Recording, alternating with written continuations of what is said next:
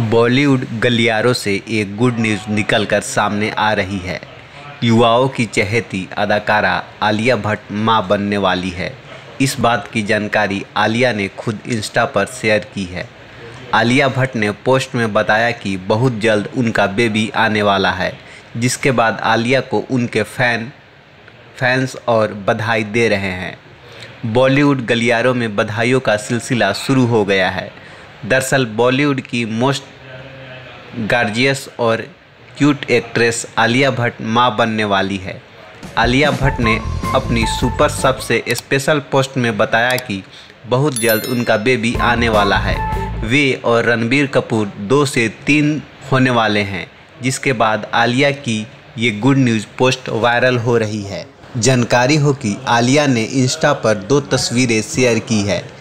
पहली फ़ोटो में वे अस्पताल के बेड पर लेटी हुई है और उनकी सोनोग्राफी हो रही है, जिसमें कंप्यूटर स्क्रीन को ब्लर कर उस पर हार्ट इमोजी बनाया है।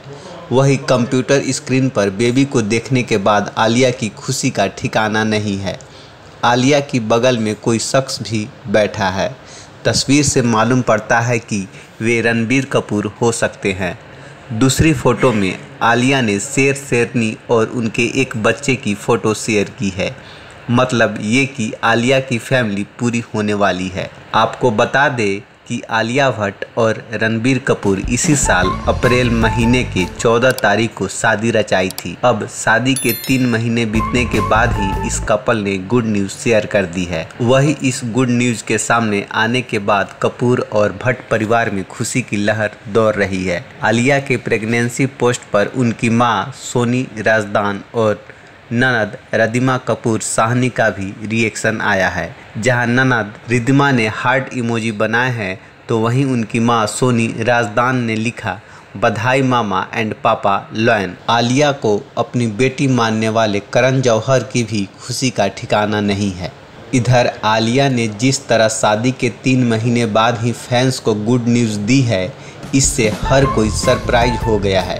वैसे जानकारी हो कि आलिया और रणबीर ने साल 2018 में डेट करना शुरू किया था। फ़िल्म ब्रह्मशास्त्र के सेट पर उनका प्यार परवान चढ़ा था। अब आलिया और रणबीर इस फ़िल्म में पहली बार स्क्रीन शेयर करेंगे। इस कपल की फ़िल्म ब्रह्मशास्त्र 9 सितंबर 2022 को रिलीज़ होगी।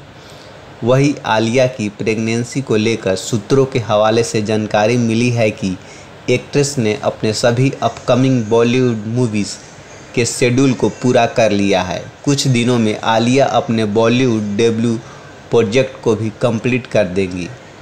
इसके बाद वे बतौर प्रोडक्शन अपने होम प्रोडक्शन के प्रोजेक्ट्स को पूरा करेंगी। इसके बाद उम्मीद जताई जा रही है कि आलिया शूटिंग से ब्रेक लेंगी।